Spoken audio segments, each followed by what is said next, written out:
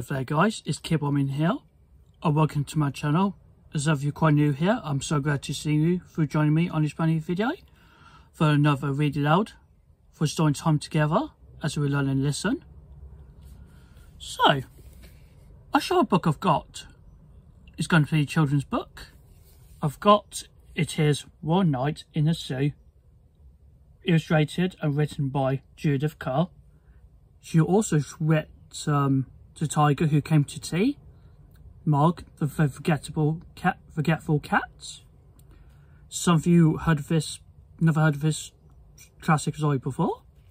So, perhaps I'll go have a go to read this children's storybook to relive our childhood as well for generations. So before we begin, I will show you some pictures for each page, one will read by words. Now, let's begin. You came to the right place. Shall we start? One magical light, one magical moonlight night in a zoo. An elephant jumped in the air and flew, but nobody knew, nobody knew.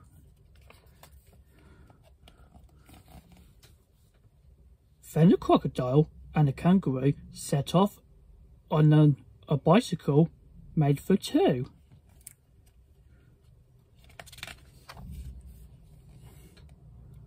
And three, and three lions did tricks which astonished a gnu, but nobody knew.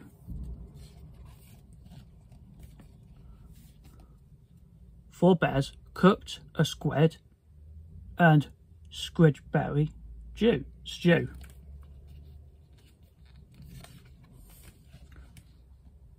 Which turned five flamingos from pink to blue.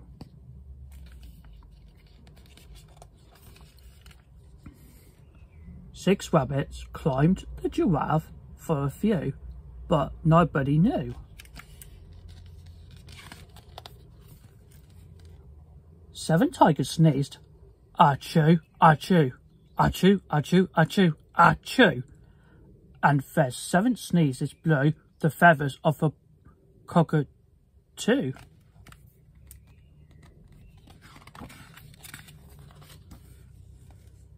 Eight monkeys stuck them back with glue, but nobody knew.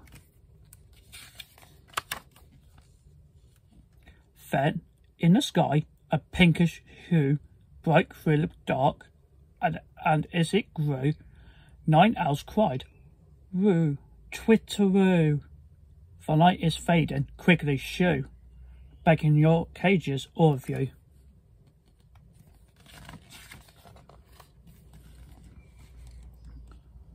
The sun got up, the keeper too. Ten cocks crowed, cock-a-doodle-doo. He's coming, quick. He's almost due.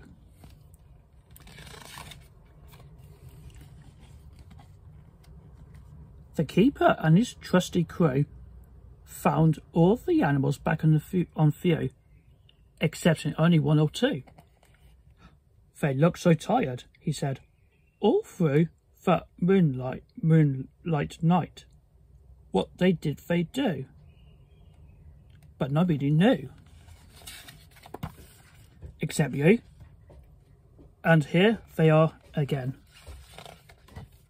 So, I hope you enjoyed this classic children's story book, One Night in the Sea. Was written by, and also by, illustrated by Judith Kerr. This is a really interesting story. It's, it is good to relive our childhood stories in the, for many generations. He looks so absolutely astonishing, so fantastic children's story ever heard. Okay guys, so this is a short story I'll read to you. And thank you so much for watching. I hope you enjoy it and please do tune for another read out for you guys and I'll see you later.